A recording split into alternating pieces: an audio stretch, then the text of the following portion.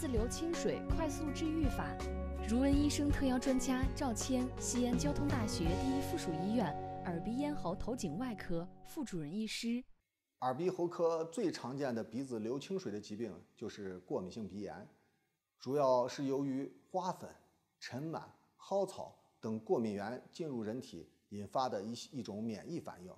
它是一个全身的疾病，在鼻部症状比较严重的时候，会引起鼻子的流清水涕、打喷嚏、鼻塞、鼻痒为一组的症状的疾病。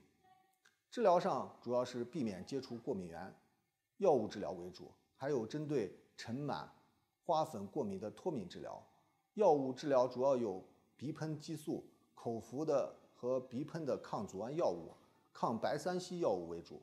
一般经过坚持用药，患者的症状都可以得到有效的控制。